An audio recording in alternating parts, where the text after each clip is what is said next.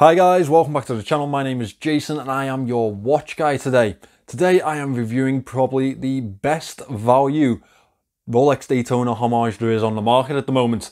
And I know that's a big claim because we've seen quite a few of them. However, this one comes with an automatic chronograph movement. It's got the ceramic bezel, the sapphire crystal, screw down pushers, all the good stuff. But it only costs just over £300. Yes, an automatic chronograph, automatic, not mechanical, for £300. Where did I find this beauty? Well, I didn't. I've actually been sent this by another reviewer. His name is Z. He runs the Watcher channel. I'm sure you've already seen it. He's way more popular than I am, of course. I mean, his accent isn't nearly as good. However, I guess his content must be. As well as that, we know that I run the best online watch store off the back of a reviews channel. However, for argument's sake, Z has a pretty good one too. You should check that out. He hasn't asked me to plug that at all. I just think that his mods that he's been doing recently are pretty, pretty nice. So give that a look. Check out his Instagram too. He posts some more there. Now, if you wanted to pick up one of these watches, I have an affiliate link in the description that will take you to the Sugess official store. Last time I checked, these were £312. Obviously, adding any of the fees that apply to your region. Now, let me turn this camera around and let me introduce you to the best Daytona homage that I have seen to date. You may not have already spotted this watch on the AliExpress market. It is from Sugess, and they are not exactly the best at pushing their models in advertising, etc., etc., like Pagani Designer or San Martin. However, they make some incredible pieces, and this one may be the best yet. It is their homage to the Rolex Daytona, and it is available in, of course, this reverse Panda dial and the actual Panda dial itself.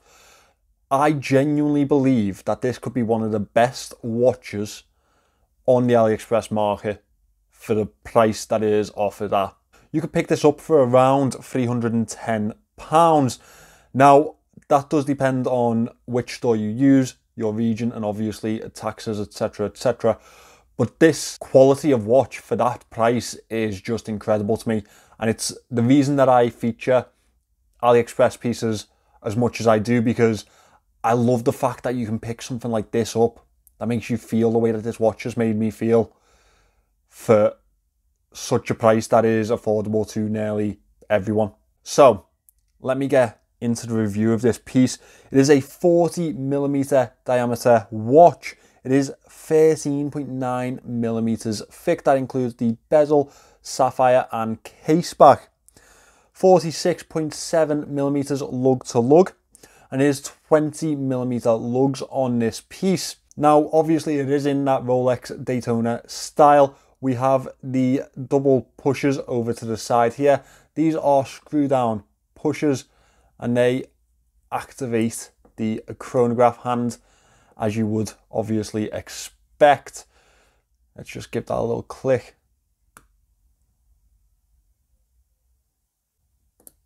And the click back. I'm just going to screw these back in. Obviously the screws on the pushers are to aid in the water resistance of this watch, as well as the screw down pushers in between these very effective crown guards here. We have a screw down crown. Just undo this. Now this movement is a hacking and hand winding movement. I will get into it slightly more in a second. It is not a common movement it is actually Chinese. It, from what I can gather, it is a clone of the 7750, a chronograph movement that is pretty much a legend in Swiss watchmaking now. This is actually the Dandong 7750. It's their clone to the ETA. Now, obviously, Chinese movements, a lot of people aren't as keen on Chinese movements. However, the quality that you actually get in a Chinese movement now, I feel a lot more confidence than I ever have in them. And one really impressive part of this movement is that this is a 12 hour chronograph, which, I mean, I don't know what you're timing for 12 hours, but it's a good level to have, I guess. As we move to the case back, it is a very simple screw down case back with lineal brushing through the center. It is that Rolex style case back that we are very used to. We have high polish around the casing. It is, as you would expect, 316L stainless steel. And to finish off this crown, we have the Sugess S in the center. Really good levels of grip to the crown and the screw down pushers make it really easy to use those. The bezel on this piece is really what sets off that Daytona-esque style, isn't it? For, for me, the bezel is anyway. This is a ceramic bezel that surrounds this dial here. We have the usual tachymeter display on there. It is very clear, the white on the black bezel. The way that it reflects the light is very, very premium to me. I think that this really does set off the watch. The print or the engraving to the actual markings is actually really crisp and really clear also, which is a big win for Sugess. We have a sapphire crystal in this piece and it is a flat yet tabletop sapphire crystal. It does protrude the casing or the bezel itself. Now the casing, screw down pushers, screw down crown, screw down case back provides this piece with 100 meters of water resistance for a chronograph, I think that's perfectly acceptable.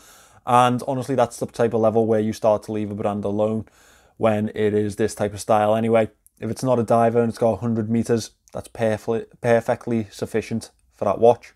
Now as we move into the dial itself, it has a very premium enamel effect black dial on this piece. And the way that it reflects the light along with that bezel, I think it is given a really, really high-end type of feel to this piece.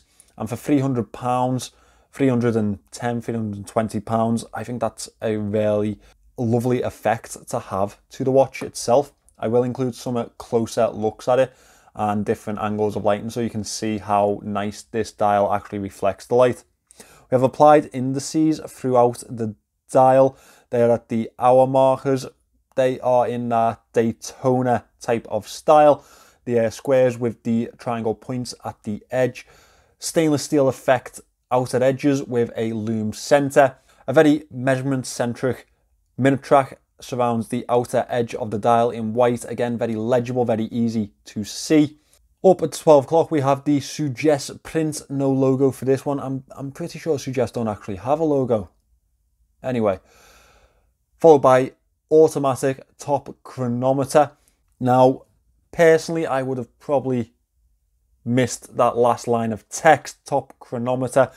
I don't think this can be classed as a chronometer, can it?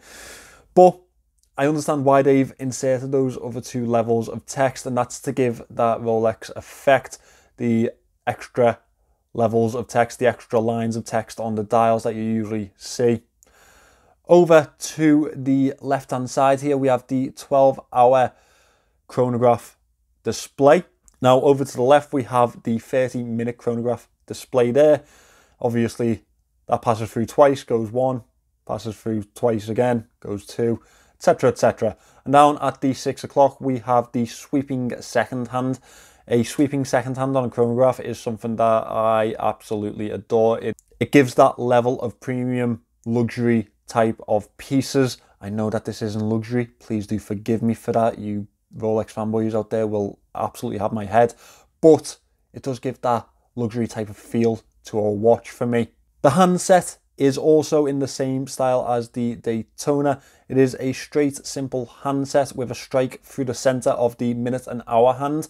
Lumed in the center, also stainless steel outer edge, and this arrowhead chronograph hand. Now let me get the lights out and let's have a look at the lume shot on this one.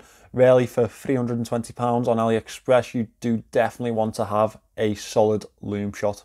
Okay, so here we have the lume on the Daytona homage. Now, it's well applied, well spread, and there's no patchiness that I can spot. However, it's just not as bright as I would have liked it to be. I understand that it's not a diver, it's not something that we expect to be nuclear at all. However, it would have been nice to be brighter. Uh, it's lasting okay. It's, it's just slightly dull and it really does kind of lower the tone. For me, it kind of lets me down a little bit, especially when we consider that this is post £300 on the market. So I'd have, yeah, I'd have liked to see better on here. Now as we move away from the head of the piece and we move towards the bracelet, you can see that is the classic oyster style bracelet. It has a really lovely level of taper to it. We have a high polish center and a brushed side on this one, brushed either side. Now we see these oyster style bracelets on plenty of pieces. However, I do feel like Sugess have really nailed this one. They've definitely come with the quality on here. No rattle to report. Uh, screw links, very nice level of brushing and polish. And obviously the Rolex style clasp that we are all used to. Folds out, nicely machined on the inside and we have the sneaky little dive extension over to the side here. This bracelet is actually quite comfortable on wrist, as is the watch itself. Let me just get it on wrist now and show you how it looks on my six and a quarter inch wrists. Now I do have two more links that I could remove on here, which gives you an idea of how wide the uh, adjustability on this piece is. Now, as I say, really comfortable on wrist. Very nice wear day to day. I wouldn't wear it on a daily basis. I wouldn't bash it about. It is all high polish, which means that it will wear quicker than your brushed pieces. However, it is comfortable as hell and it is quite noticeable on wrist also. A lot of people do know this Daytona type of style and they do uh, point it out quite a bit. I have had a few people in work pointed out to me uh, and actually comment on how nice it looks in person. So that's definitely always a win. Now, I do have a couple of moans for this watch, and all of these moans are definitely because this watch is post £300. So it is playing with the big boys here and we have to treat it as so. Now, high polish, yes, that is the Daytona style, but it is gonna it is gonna ding up quickly. So be aware of that. You're gonna want to uh, have a backup for the polishing on this one. The movement itself, people are going to moan about it being a Chinese movement. However, I don't see how you can do this at this price without it being a Chinese movement. Uh, it does have a rotor noise to it. Like you can definitely tell that it's automatic, put it that way. However, at this price, I can't complain as much with it being an automatic chronograph. Now, if it was a simple automatic piece freehander, then yes, this would be too much noise. But with it being the chronograph, I'm, I'm kind of going to let it slide a little bit. Finally, for over £300, it would have kind of been nice to have the glide style clasp on this one. I have seen cheaper brands do it and therefore I know that it's possible and definitely would have give you that full luxury type of feel. Another thing to point out, I'm not the biggest fan of the print at the 12 o'clock without a logo. I, yeah, I'd like to see a logo there. I think that it would finish off that uh, effect. And as well as that, I've they did insert a logo, they could take away that top chronometer, which doesn't apply to this piece. So kind of throws off a little bit and definitely will be a gripe for a lot of people. Now with those moans out of the way, and as I say, they are definitely just because it is at the type of price range that it is. It's a beautiful, beautiful watch, and it's definitely the best Daytona homage that I have had in for review. Obviously, is the most expensive Daytona homage that I've had in for review also. Obviously, a automatic chronograph is always going to hurt the bank balance. However, the Chinese doing it, it's going to feel a little bit nicer when you look at your statement the next day. I promise you that. If you wanted to pick this up, then I do have a link in the description. That is an affiliate link, and I would appreciate you using it because it does help the channel a great deal. Now, if you did happen to pick this up, which variant would you go for? the black or the white dial. Personally, if it was me, I think I'd be going for the white. Let me know what you do in the comments. There we have it guys, not your average AliExpress review. This watch obviously is priced above the usual AliExpress market. However, for the quality that you get in the case and the quality that you get in the movements, I know it's Chinese, but it's still a 7750 clone and it is still an automatic chronograph it's a lot of value, to be fair. and the quality is undeniable. There's obviously a couple of little moans and niggles in there, however, there's going to be at this price. If you wanted to pick one up, I have the link in the description to the Sugess official store. Thank you again to Z for sending this over. Make sure you check out his channel and his Instagram and his online store. Thank you for watching, guys. Please remember to subscribe to the channel, and I will hopefully see you in the next one.